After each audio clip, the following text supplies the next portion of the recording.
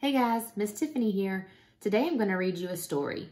Does anybody know what holiday is coming up on Sunday? That's right, Easter. What is Easter? This book, What is Easter, is written by Michelle Medlock Adams and it's illustrated by Amy Wummer. The little bunny hops, hops, hops.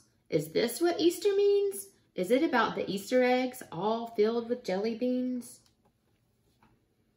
Is it about hunting eggs? I do that every year. Does it mean eating chocolate stuff? Mm, I ate my bunny's ear. Is it about the baby chicks? They're fuzzy and they're fun. I saw some Easter chicks for sale. Ooh, I really wanted one. Is it about the Easter toys? They're really fun, I think. One time a bunny came to me his little nose was pink. Is it about my brand new dress and my Easter hat? Does it mean wearing shiny shoes? Ooh, I really do love that.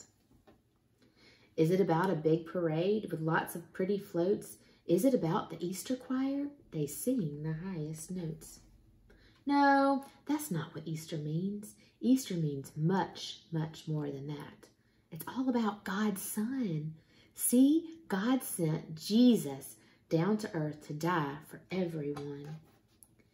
He had to die upon a tree to save us from our sin, but he was only dead three days, and then he rose again.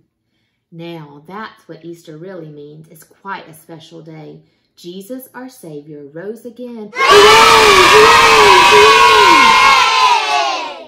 Today he sits right next to God in heaven up above. He wants to live inside you too and fill you up with love. Okay, now I get it. The Easter Bunny is okay and Easter eggs are fun. But Easter's not all about that stuff. It's all about God's Son.